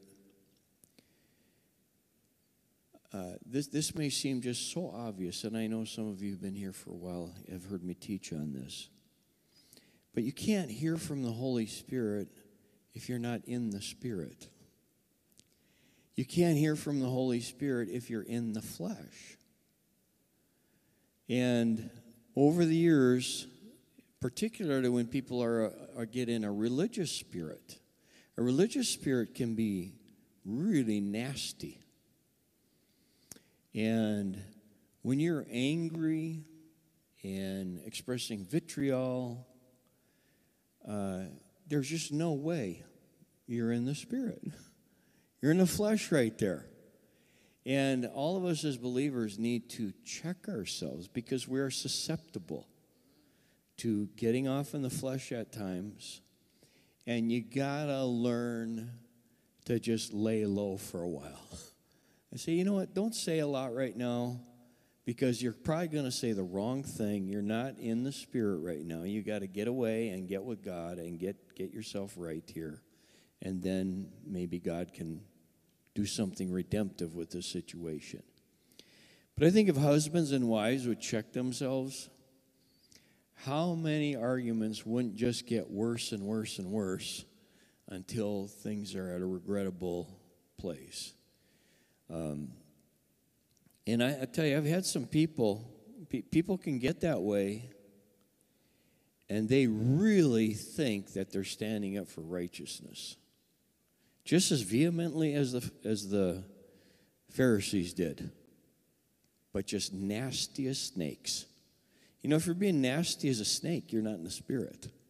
You're not hearing from God. You're not speaking for God. You may think you're standing up as a tower of righteousness, but you're so far out in left field, you should just be quiet for a while and get in the spirit and have something. You know, I'm thinking of a, uh, an event I had here relating to the daycare. This was almost a year ago now, and I had to talk to a gal about a difficult situation I had her out here. And I'm telling you, she started lighting into me. There was somebody else in the church building at the time overhearing this from down the hall. And they told me afterwards, you know, if that had happened at my place of employment, the cops would have been called and they would have been escorted out. I've never heard anybody talk to somebody like that. And yes, as they were talking to me in those tones, it was laying the law of righteousness down with me and really thinking that they were taking this great stand for the kingdom. And it was as ugly as ugly can be. Now, I had had lots of uh, encounters with this person, and I know that they love Jesus and I know that they've endeavored to walk with the Lord. But in that particular scenario, they just got tied up in knots so bad. And it was just horrible. That's what we're capable of in the flesh. And, um, you know, every, every service, I end by saying this to you. I don't know if you remember. I've been saying it for every service for 25 years or whatever. Go now in the righteousness, peace, and joy of the Holy Spirit, right? Righteousness, peace, and joy together. Am I walking in righteousness? Am I in peace? You know, that teaching on the offense is so good. When you're in an offended state and you're all churning, you're not in the Holy Spirit right there. All right, you got to get appropriate your peace again and get in the Holy Spirit and have the joy of the Lord. And then now you've restored the capacity to hear for something from the Holy Spirit and do something that has an impartation of life. When you're in the, the what did Jesus say? The flesh counts for nothing. The Spirit gives life, the flesh counts for nothing. You can't give life when you're in the flesh. So he says, righteousness, peace, and joy in the Holy Spirit. So it is true. The great attack of the evil one is to get us in offense, to get us where we're just a churning and we're in the flesh and we're just locked up. We're just locked up. So I think uh, at times this, this teaching is so good, but just don't overlook. You, you got to learn to monitor yourself, right? Okay, now here, am I in the Lord here? And husbands and wives, so so critical. You know, you're you're you just have to learn to call time out when you're in the flesh because no good thing comes from that ugly that ugly place, right? Hallelujah. Father God, help us as we endeavor to keep ourselves in the Spirit, walking in the Spirit. Thank you for this deep, rich, powerful teaching we've received tonight. And Lord, we do want to more and more inquire of you over every issue of life. Prompt us, remind us, help us, we pray. May it be said of all of us that we're recognized as being full of faith and the Holy Spirit. In Jesus' name we pray. And everybody said, Amen. God bless you. Going on the righteousness, peace, and joy of the Holy Spirit. See you tomorrow night.